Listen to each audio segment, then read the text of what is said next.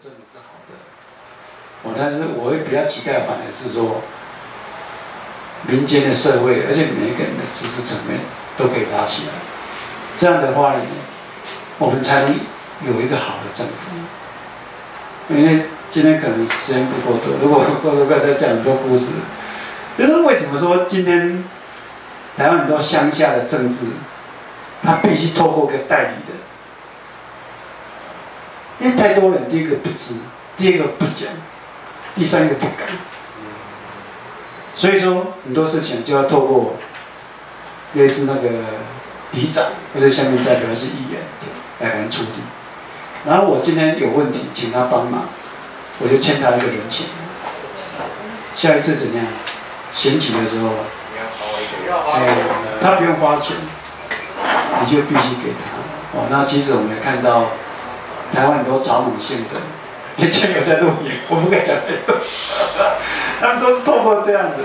哦，澎湖某个委员，你只要进服务处拿一张单子，你在高雄住饭店就可以打五折。你说选举的时候需要买票吗？其实不需要。我觉得我还是比较期待，就是说，整个一个人民，他必须是一个。非常良知良能，你才有可能把我们台湾建设成一个小而美的真善美的国度。其实我我最近我明年做一个广告，明年的三月啊，我们团体会邀请印度，就是一个英国裔的一个英国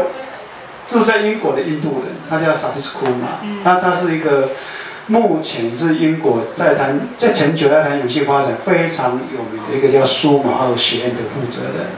然后他明年三月会来台湾，然后我就给他定一个标题，从小而美到真善。我我认为，其实台湾就是必须要去做这样的一个小的 scale，我们不要一直要去，一直要去跟三星，只要去跟谁比，反过来。其实我们应该跟我们自己比，我们应该从一个历史的向度，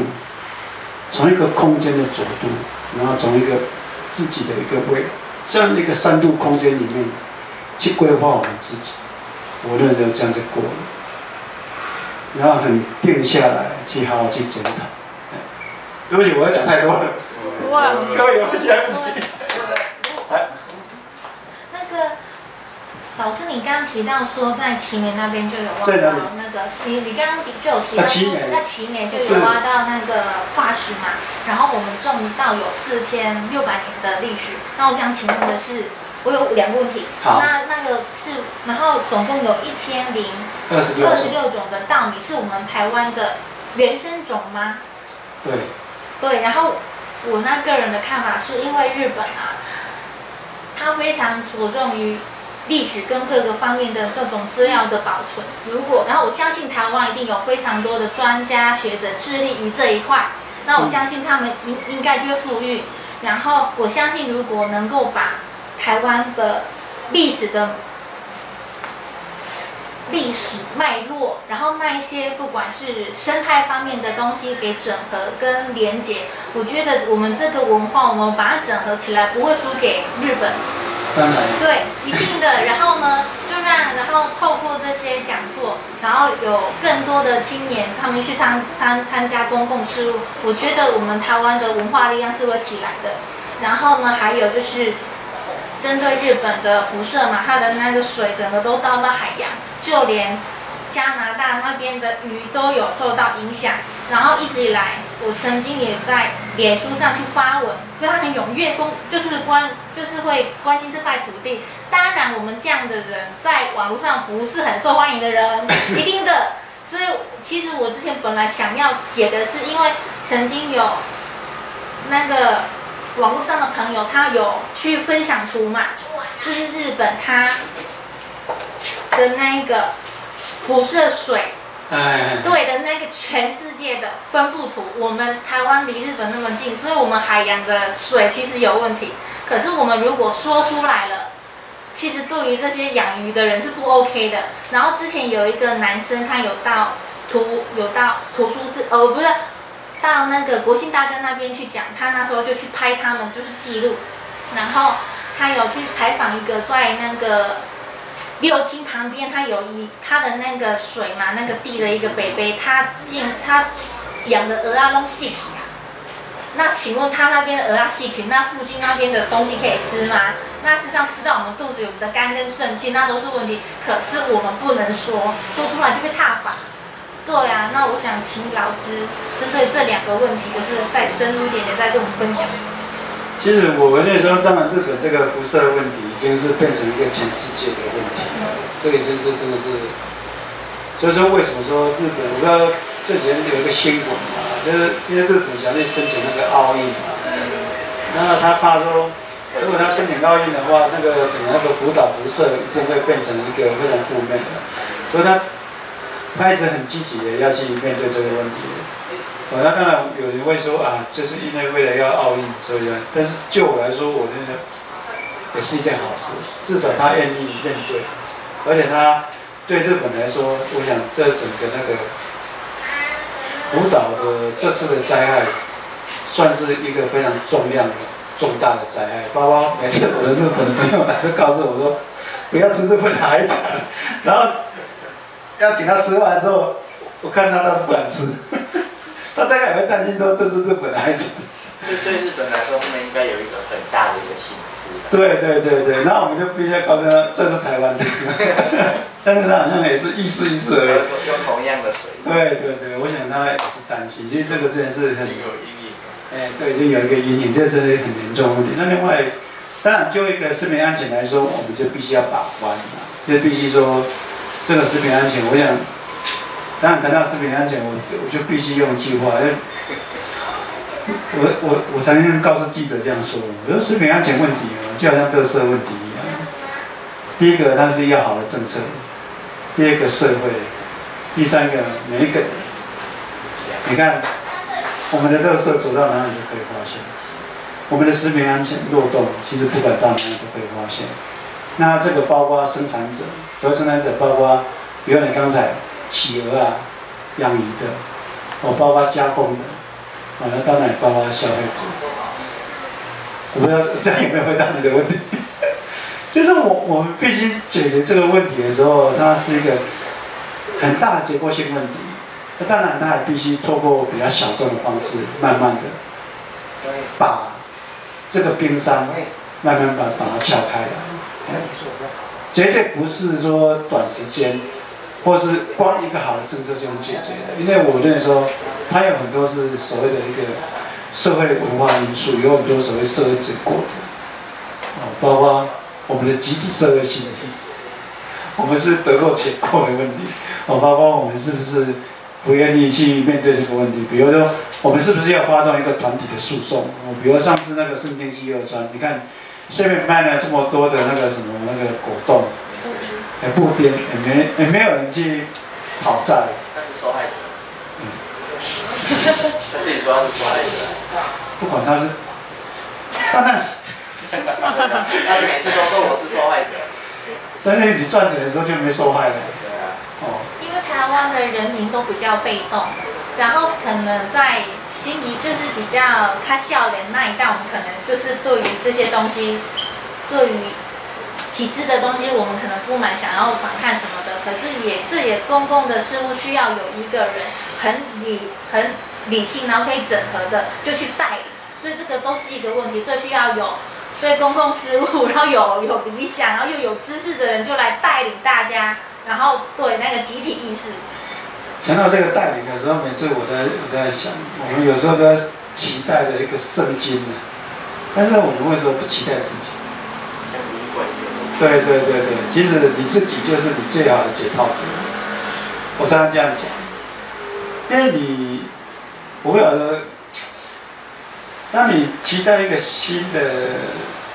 圣经，有时候它会就变成暴君。对。哦，所以这个绝对是。最好的一个方式，我认为说，它还是在一个整个一个社会一个集体。但我们看到北欧好了，我不知道前阵子北欧有一个非常有趣的问题，那个总理啊去当计程车司机，完了北欧好像是瑞典还是丹麦，你知道？他们上班的时候有保镖，类似我们的那个警卫，但是下班的时候，他的警卫就回家了。然后有一次这个总理好像去店里面被人家打或者怎样，他们就在思考说，到那个晚上要不要帮总理派保镖？后来国会还是解决说不用，因为下班就下班了。你看多阿萨利呀，对不对？你看总理都这样子要去保护他，因为总理下班了，对不起，自己保护自己。所以说我我们必须反过头来说，要去求一个圣经，保护的是求自己，自己就是一个圣人。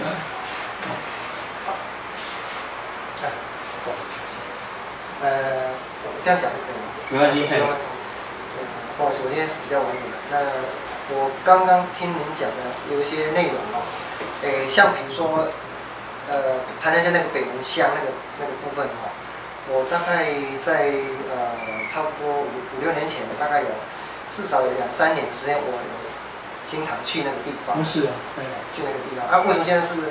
呃，刚好是那边那个教会有的朋友，然后就是呃有些施工需要帮忙，所以就有去帮忙。那我因因为这个街，所以对那个地方有一些初步的了解。那包括因为我本身我是一个病理科医师嘛，所以关于那个五角病的的东西哈，嗯，我有去稍微再比较仔细去了解一是下。那另外就是说，其实刚刚讲那个艾草的公路啊，那个五角病不应该是一个，应该应该讲上是一个大自然的一个一个问题，水质的问题啊。但是后续像六亲这个问题是人为的，哦，因为我目前在云林县上班，所以我没有我没有在我没有在六亲那个，但是我常常会听到那一边有一些有一些这样的一个讯息，我是没有知道的。所以我觉得有时候在这个经济跟呃环保的议题上面，有时候呃常常有时候一个两难，但是问题这个这个其实是一个很明显的一个一个问题啊，因为它它的很多可能都或许早前的环评都应该都不不不 OK 的，但是不晓得为什么就农论就过关了哈。那后后来到现在为止就遭受到一些恶果，但是这个里面有个调，就是说当地的居民可能也也好像有两派嘛，他们就有些人希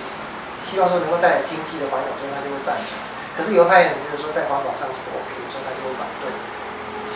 那这又讲到说，呃，今天在这个地方，呃，谈这个话题，其实我觉得蛮有意思的哦。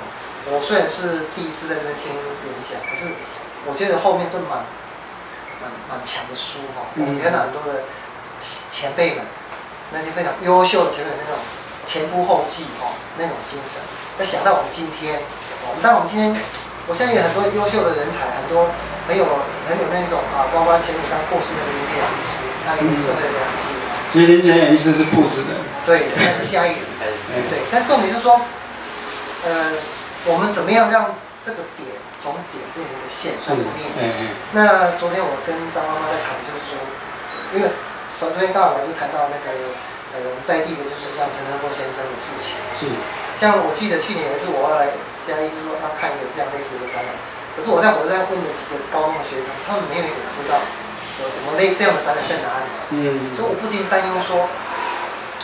今天的年轻人如果再不好好的有机会给他们这种资讯或者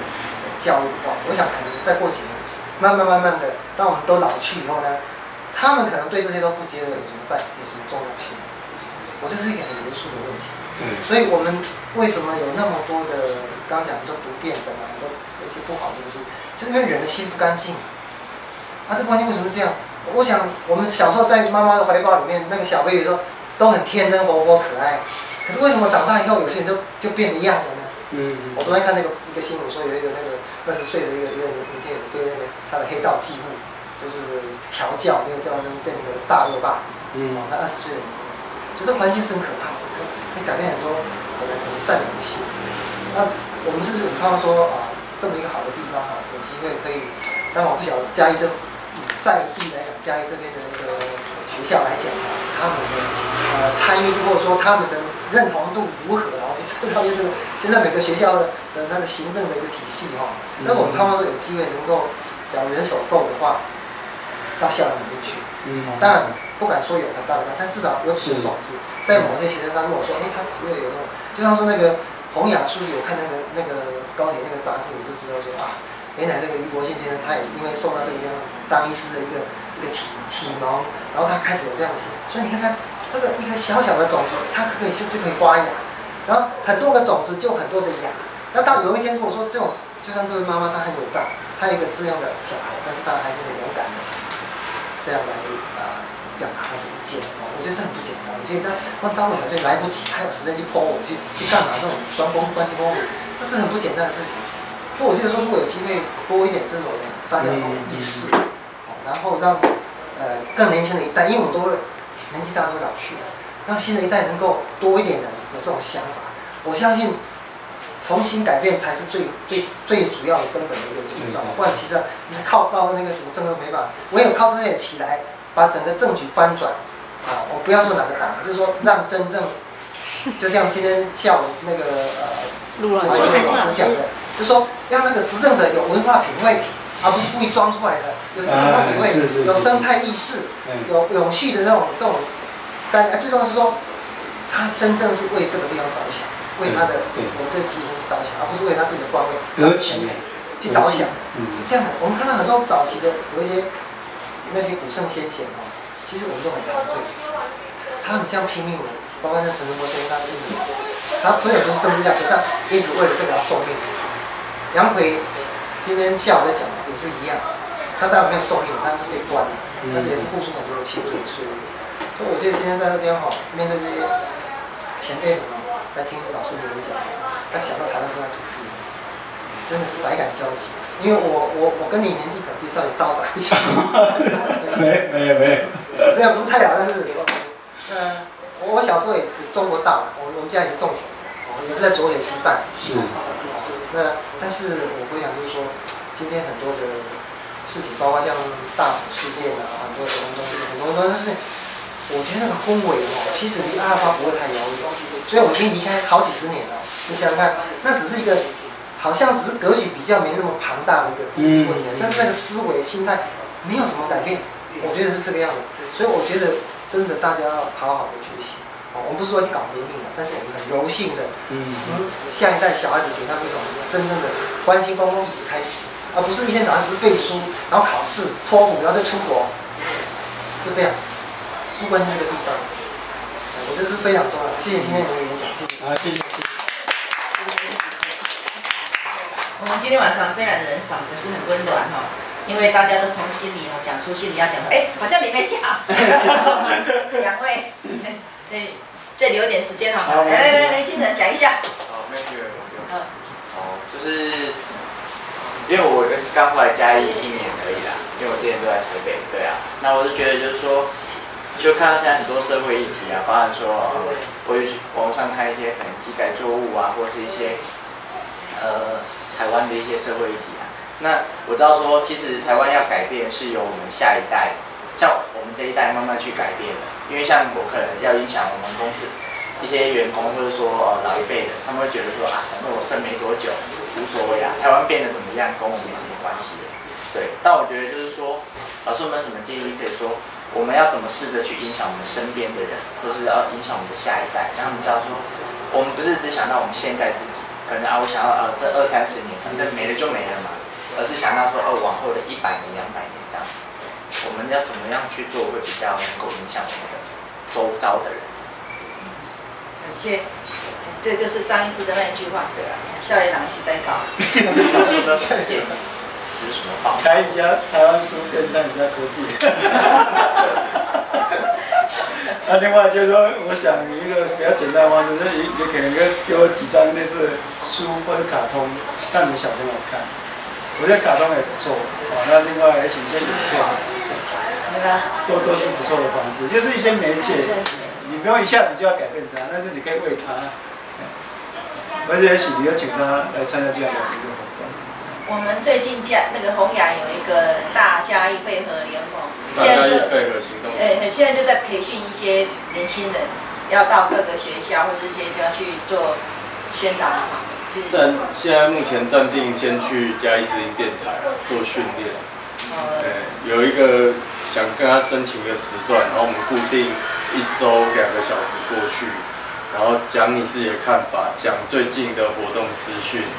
呃，讲你看到我们现在联盟在进行当中你自己的心得。呃其实就是种子啦。对啊，啊借由这个训练之后，那之后整个开始，因为我们接下来也是希望说，整个大家一嘉义县市就是跑五百个店，就是不管是店家或者是公民团体，或者是就人潮聚集的地方，甚至庙口有关系，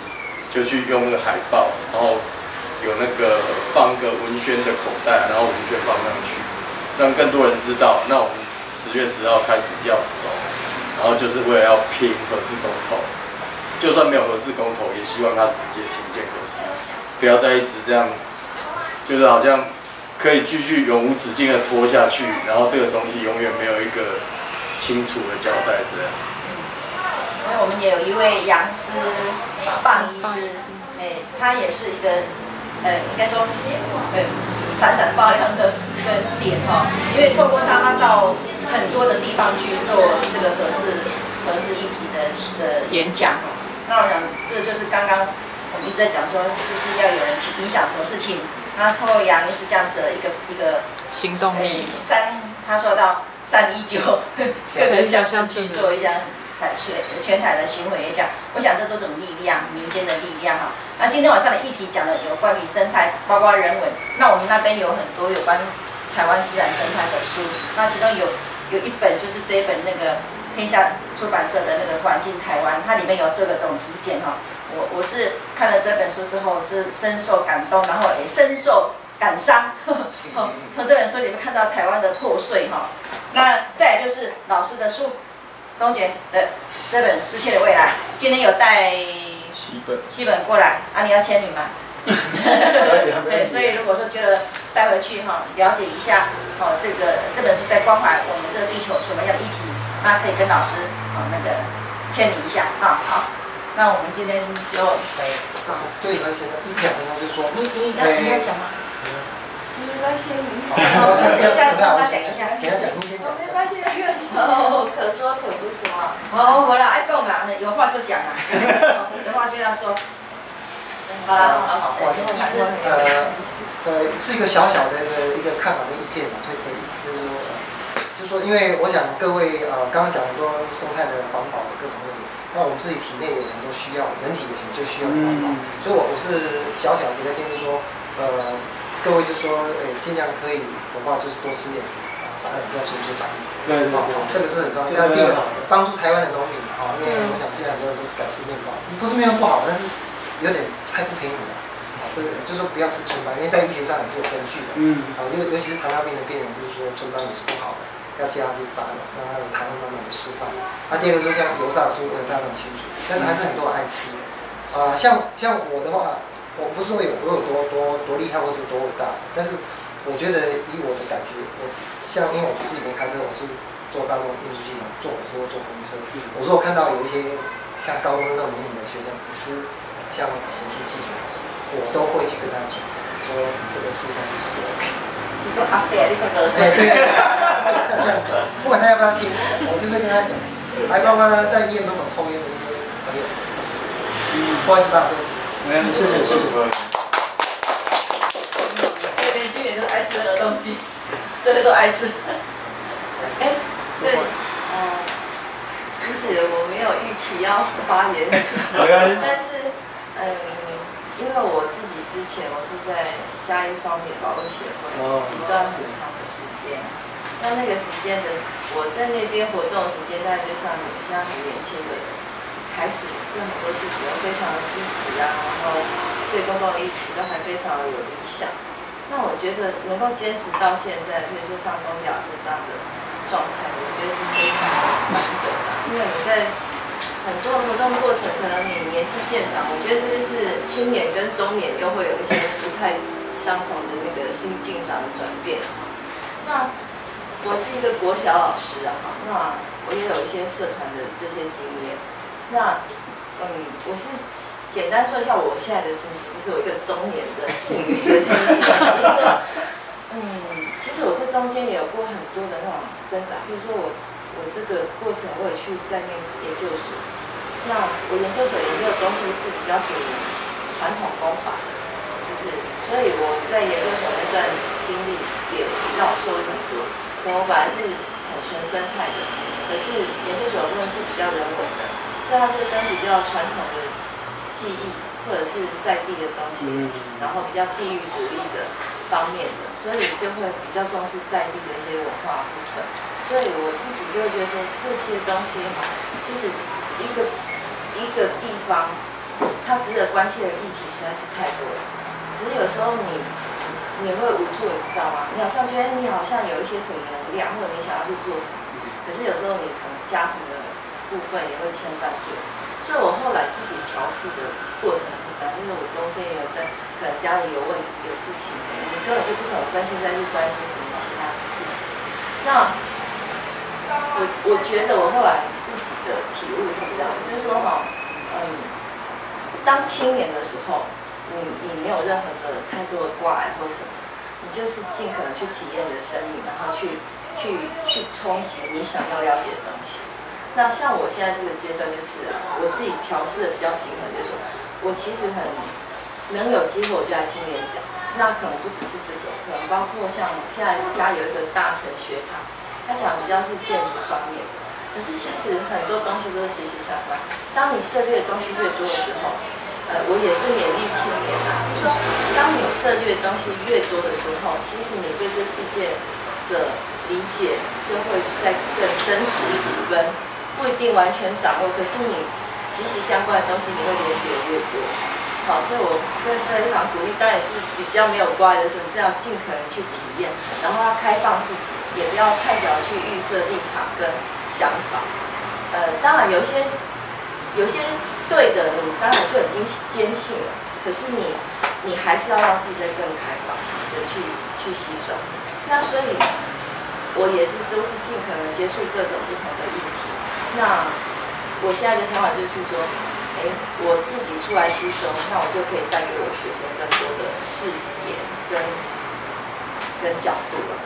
对，所以这就是我能做的。我觉得我不需要，因为说我不能够很积极参与某些某些，我就觉得非常的罪恶。可是我可以尽我的力量去做我可以做，这是中年妇女的心情。谢谢。再补充一点点，所以我现在就是可能，比如说我们家附近有流浪猫，或是我我也收养了流浪猫。那我就想说，好，那我这个月好能做的功德就是好把那些猫好像办法绝育，就是就是说，你可能在每一个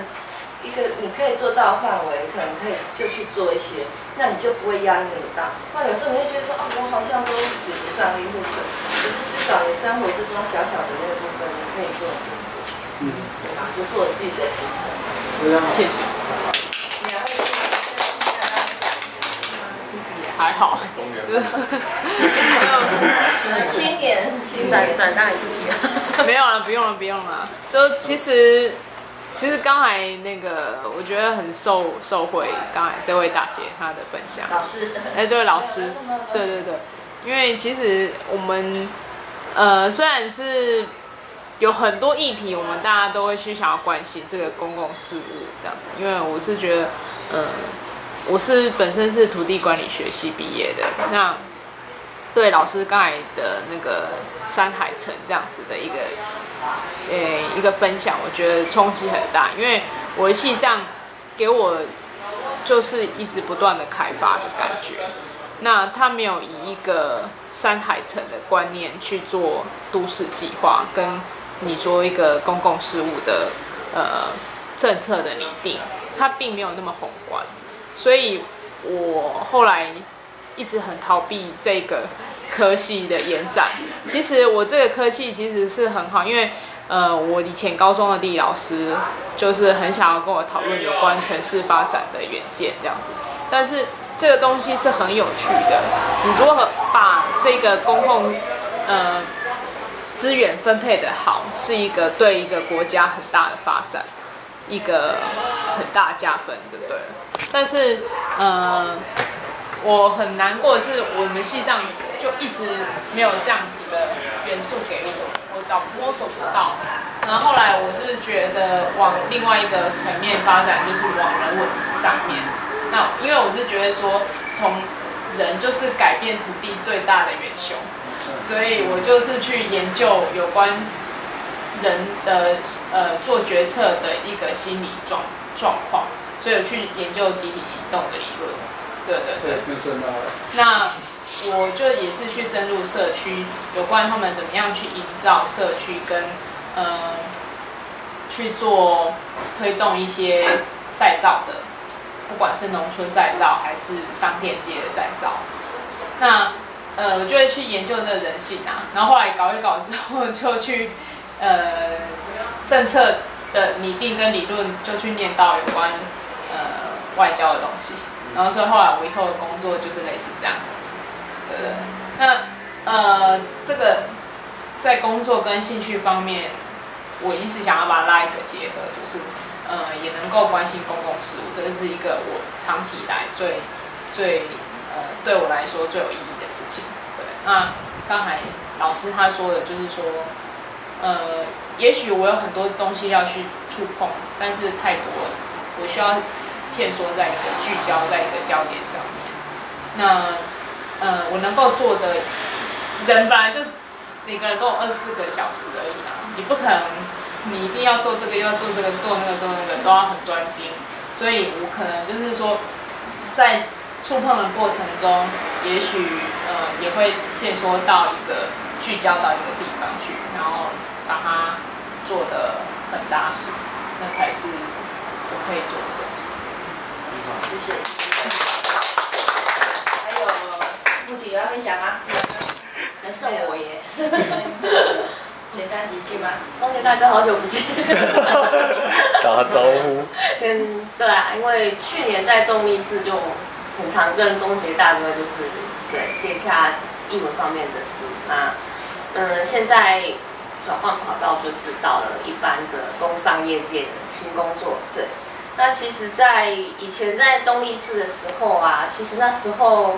工作上虽然就是不停的去反复去诉说那部分的管理的内容跟附近嘉义的习惯，可是其实会有一种不知道哎，身为嘉义市民的荣耀感，因为我觉得是一种把我们自己对土地的认识，然后推广到一个一个点，然后这样出去这样子。那现在变成转换到了这个工商的的那个地方之后，其实就会发现，好像一般的市民就是这样的过生活。他们就是很忙碌的一直工作，然后考量的都是等一下午餐要吃什么啊，几点回家，然后老板很讨厌什么之类的。但是就是你跟他讲的太一下子他切太进去，他会很用种很茫然的眼神看着你，他还听不懂在讲什么。那所以我我试着在寻求，就是用比较钓钓鱼的方式、有趣的方式，想说把几个还可以聊得来的种子先掉进来。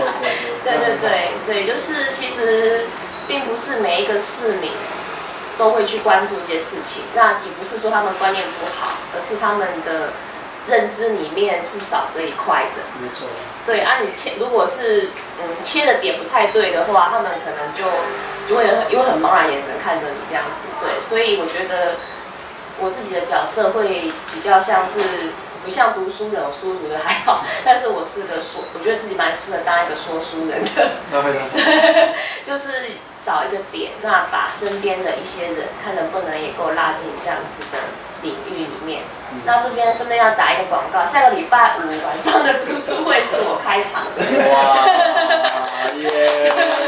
那要介绍就是之前工作的北门艺那一带的。那呃，因为我那时候接触的方式，我发现以旅游的路线的方式会比较让一般的人、一般的那个大众能够接受，所以我那时候我到时候会用旅游路线的建议，然后再加一点文化的因素来带，对。那希望这也是一个不错的点，能够吸引更多人。礼拜五哦，礼拜五晚上这边天章目前的 这场讲座，也不是讲座啦，开书，开说书，说书，我们是读书会啦，我们是每个是礼拜五的读书会，每个人认养一个章节，我们就在念这一本。甜蜜的养乐大。然后他认养的就是北门车北门车库园区跟北门地吧，啊，它是认认养那一块。好，我是认养动市场跟文化路，十二月份的事情。好，那我们今天就谢谢大家，谢谢大家。谢谢需要的话这边有。签名，我们叫你大哥呢啊，哦，大哥都要立倒啊呢。大哥要你讲。阿里基，